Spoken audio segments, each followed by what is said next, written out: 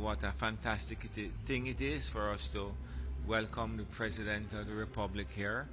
Jamaica and India have a long standing relationship, and it is hoped that after this visit we will be able to enjoy more important relations between our two countries.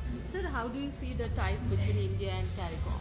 Well, the ties between Jamaica and India are historical and long standing, and we hope to continue to build those relationships.